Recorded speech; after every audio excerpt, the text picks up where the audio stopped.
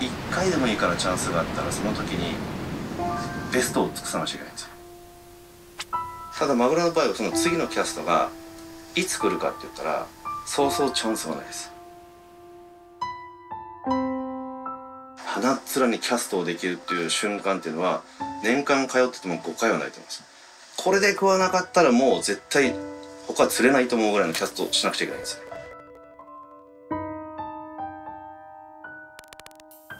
一巻き一巻きもうでかいのがかかったらこれで絶対上げてやるっていうまあそのぐらいのやっぱりイメージはいつもします最大限安心してファイトができるようにするのはやっぱりこのタックル準備なんですよ。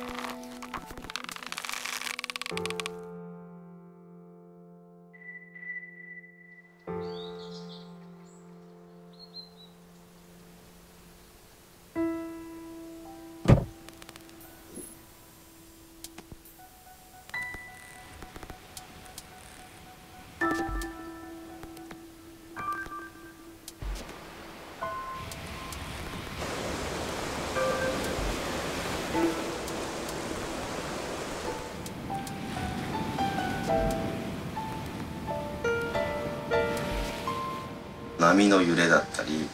風向き鳥の動き当然あと周りの船の動きいろんな動きが地合に入ってくると一瞬でパッと変わるんですよ。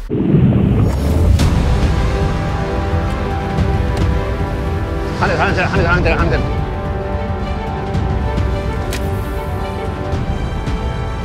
あれだけのサイズをキャスティング？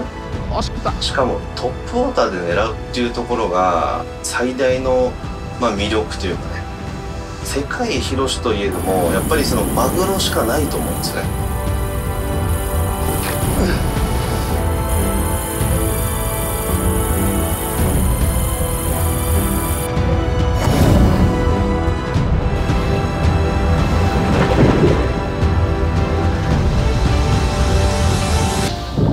ステラはね世界最高峰だと思います。これで取れなかったら、えー多分取れないんじゃないかと思いますね。信頼性がおけるリールだと思います。